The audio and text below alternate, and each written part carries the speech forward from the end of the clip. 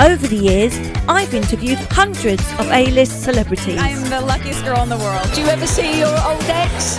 You mean which mate? one? I've been up close and personal at exclusive showbiz parties with the world's biggest stars. Hello, I'm Ringo. I'm an icon.